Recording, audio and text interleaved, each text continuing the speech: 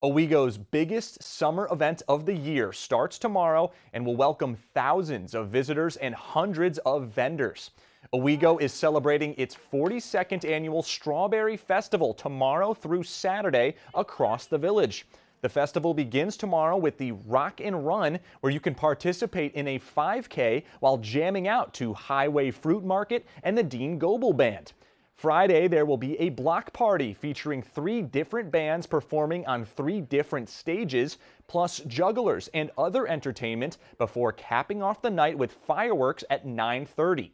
And on Saturday, the final day kicks off with a parade featuring the local Grand Marshals Jim Raftis and Dick Franz. Wendy Post, a chair of the Strawberry Fest, says the event wouldn't be possible without the help of the community. It's the community. And if the community did not step in, there would be no festival.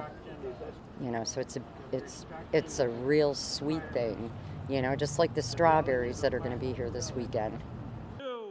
A wide selection of the musicians will also be playing throughout the festival. Artists such as Junkyard Heights, Stone Cold Sober, and Randy McStine. The festivities run tomorrow from 5 to 9 p.m., on Friday from 5 to 10, and 9 a.m. to 5 p.m. on Saturday. For more information, including a full list of the performing artists, visit owego.org.